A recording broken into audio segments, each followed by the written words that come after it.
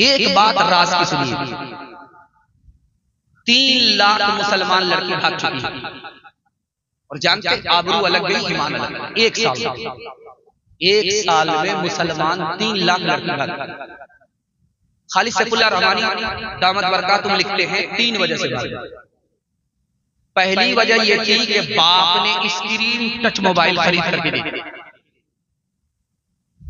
बाप ड्राइवर बेटा खलासी गाड़ी का नंबर सात सौ छियासी। सुने घर में बकरी सवासी। लड़की किससे बात कर रही है माँ बाप बेखबर? लड़की भाग गई। लड़की कम गुनहगार है। माँ बाप ज़्यादा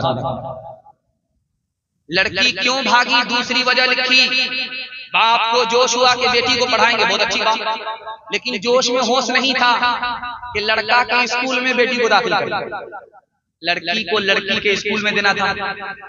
लड़की को जवान लड़की को जवान लड़के के स्कूल में दाखिल किया आवारा लड़के के चक्कर में लड़की भागी। लड़की कम जिम्मेदार है माँ बाप ज़्यादा